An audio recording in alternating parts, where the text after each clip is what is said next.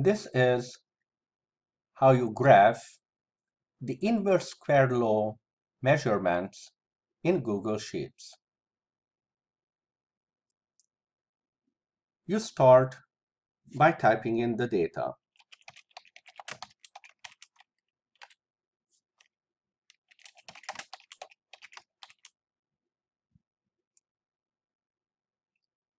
The units need not be typed with the numbers.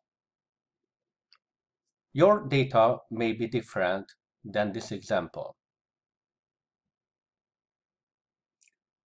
You highlight the entire table, insert chart.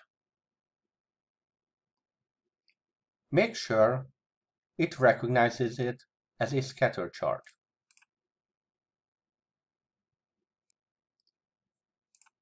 You can customize the chart title and axis titles.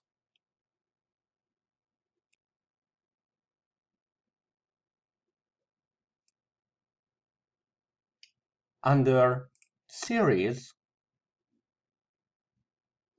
you add a trend line, make its type power, and make sure its label is the equation. Check that the exponent is in fact close to negative 2. You can now copy over the table into Google Docs.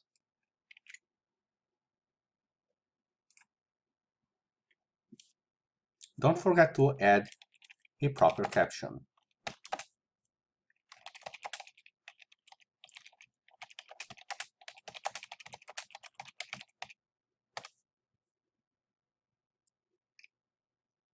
Copy over the graph as well.